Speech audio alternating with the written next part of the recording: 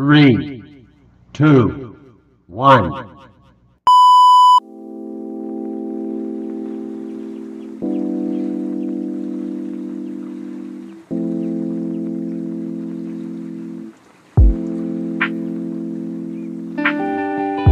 Good morning. As is my way when I am in the company of all the workers that have been working for the betterment of our health situation in the midst of the pandemic, I always start with a note of gratitude and of thanks and for your sacrifice and for the risks that you take and all that you have been able to do to help us through this pandemic.